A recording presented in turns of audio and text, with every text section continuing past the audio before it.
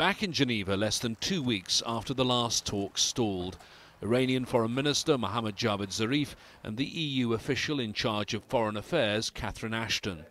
An interim deal on Iran's nuclear program seems reasonably close, but pressures, possible constraints on both sides have been growing since they were last here.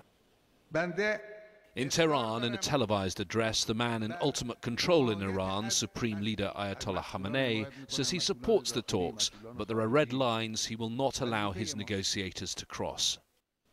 The other part of the deal is that I insist that the rights of the Iranian nation be preserved, including the nuclear rights. Last time around, US Secretary of State John Kerry and his counterparts from Germany, France, the UK, China, and Russia were here negotiating until late into the night. This time, the talks are being handled at a lower level by senior officials. All are aware of strong opposition to any deal from Israel, the Gulf countries, and inside the US Congress, and they must overcome differences in their own ranks too.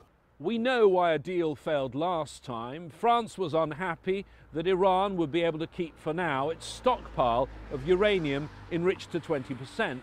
The French were also concerned about the Arak heavy water plant currently under construction. They want all work halted now. Once active, that reactor would be very hard to shut down.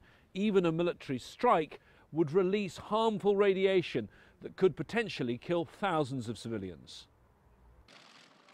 Those who followed the diplomacy surrounding Iran's nuclear program for years believe the next few days could be make or break. I think you could make a pretty good case that the opportunity is going to get a lot smaller if a deal is not made at this particular set of talks.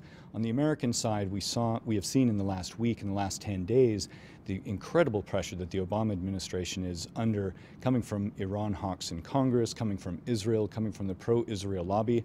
That is only going to get more intense. Talks will continue over the coming hours. One senior US official said they were making good progress, but then added, this is a hard road to walk. James Bays, Al Jazeera, Geneva.